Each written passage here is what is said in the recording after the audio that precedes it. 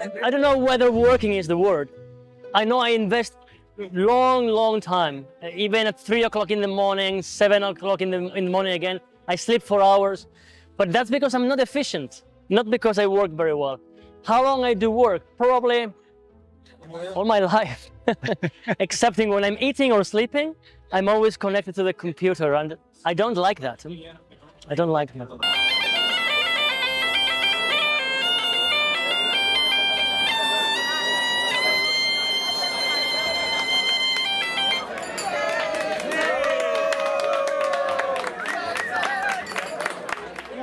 Well, let's say that bureaucracy has increased a lot, but that's something I counted on.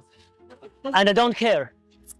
Definitely it's hard work, but every time I I feel like complaining, I I want to think, what am I doing this for? And, and then I think of all these people. I remember Tina actually, right? Because Tina said, yes, it's hard work, boring work, but look how many people are coming here, how many people you may have changed their lives.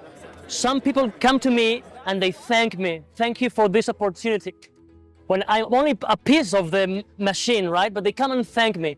And that makes me say, okay, I'm working a lot, maybe too much, but it's worth it. One, two, three.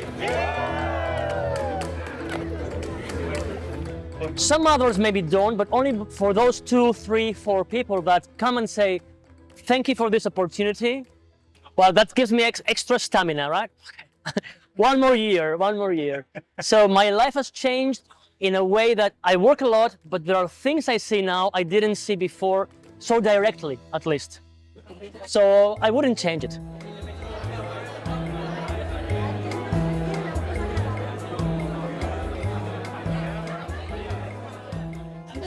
How mechanical engineers perform and how electronical engineers perform or what do they get?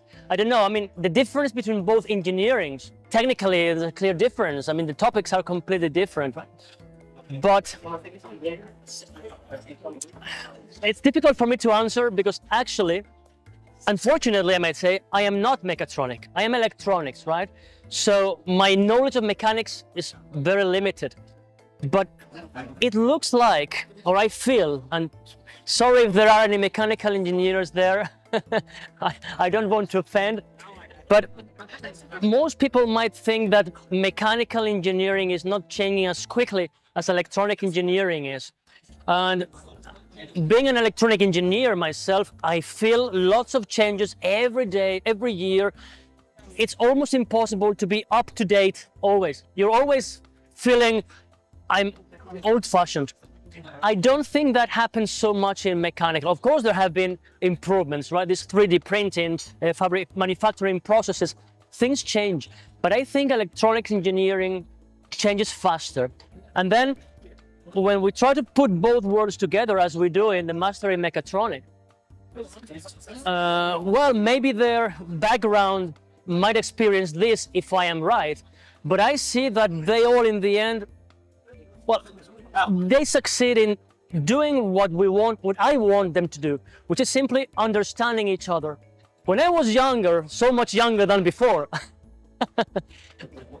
when I was younger, so much younger than before, I never needed anybody's helping anymore. Or it doesn't rhyme. Helping in a way. Anyway, you wanted me to sing a song. When I was younger, I said, uh, I kind of ignored mechanical engineers. I mean, you know, I was an electronic engineer. I was together with, with my electronics engineers. I'm talking as a teacher, right? And you said hello to mechanical engineers, but that was all. And since I entered the master in mechatronics, I discovered that mechanical engineers are people too, and good people, right? No, it's true. I, I opened my mind. I saw electronics is but a small piece of real life. And um, I have to be in touch with all the world surrounding me mechanics, engineers, fluid mechanics, everything, right? And that's what I want to get from mechatronic engineers. I want them to be able to communicate with everybody, to understand that I am specialist in something, but I might understand other problems. And I think we do this in mechatronics, even though, as I say, there might be some difference in mechanical engineers and electronic engineers. In the end, we think we succeed in getting all of them to an, a balance point where they all meet. So the difference, I don't know, but the end is we, we level them.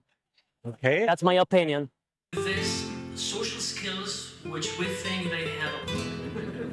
oh, you're getting old, man. I agree there. I can't agree more. I can't agree more. Yes, you're right. And I always, I, I, I tell it at home. I say, well, I am 54 now. 54.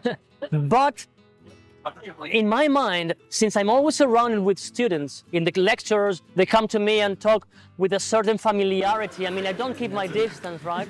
So I'm never going to be one of them anymore, but I feel their spirit. And even if it's 10% of that spirit I can sip in, well, that's for my benefit. And you're right. Zwei, drei. Yay! But definitely technically and as far as uh, in this case electronic knowledge is concerned it's my mission to teach them more.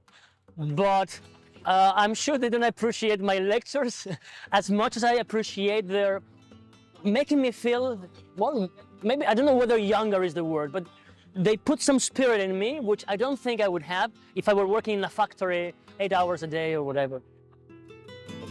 I think It's a video, right?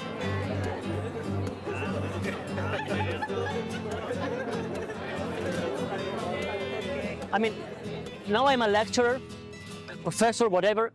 And when I finished studying, I never ever had planned to be a teacher. Oh. There came this opportunity to be a lecturer, and I said, okay, yes, I can spend here some months before or years before I find a real engineering uh, job. But I never wanted to be a teacher.